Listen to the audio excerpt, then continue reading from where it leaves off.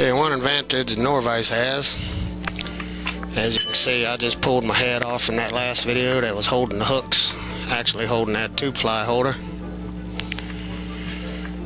And this will be have this here. And this is for my smaller tubes, regular unweighted or weighted.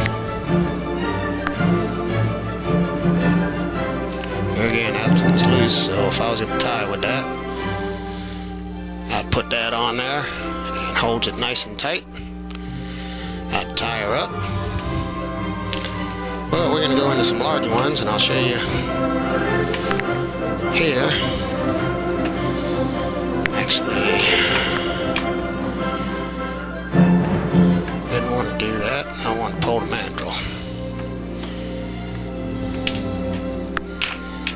And I'll put my 332nd on there.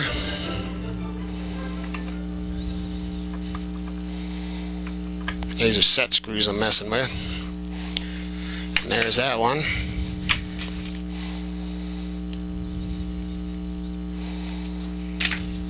Here again, weighted.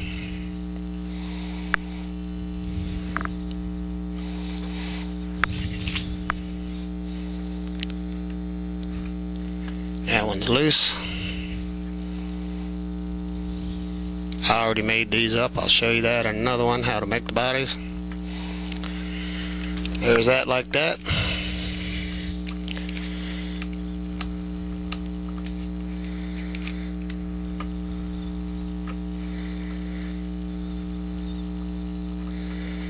I crimped that one off a little bit when I made it. Now I need to get me in kind of messed up on that one a little bit, didn't I? Didn't move the camera over. Yeah, I'm not going to refilm that. Because you're going to be seeing a lot of these if you keep coming around to my videos. Now I got my hair cut. Pull that just a little bit like that. Get it back where I want it.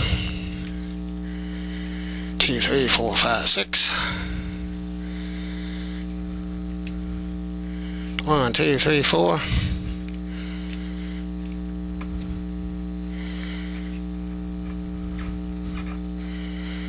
Take my whip finish back over onto that. You don't need any head cement or anything like that because you're going to immediately glue this right on. Here again, this is a foamed one. Be floating with the lead so it won't sink as much. Still sink, but not as much as one without. Cause that's a good bit of lead up underneath that heron tape.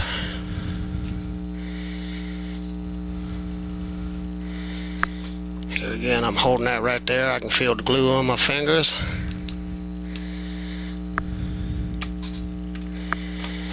And just a wee little bit too much and she's going to want to pull loose on you.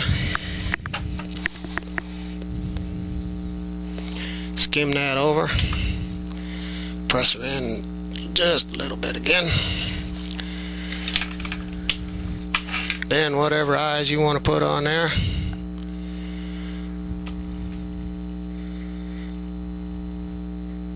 That's all that it takes to make these flies. And as they say down the bayou, don't they just party? And once again, you can tweak it so it can move, or you can now would tweak it like that, make like a rudder. So she'll want to spin when you strip it.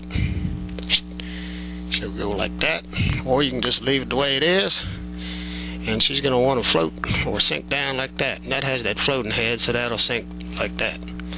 Regular head, non-floating.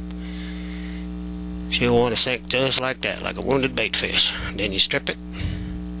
Line resistance will bring it up. She'll go up and down like that. Have fun tying and fishing.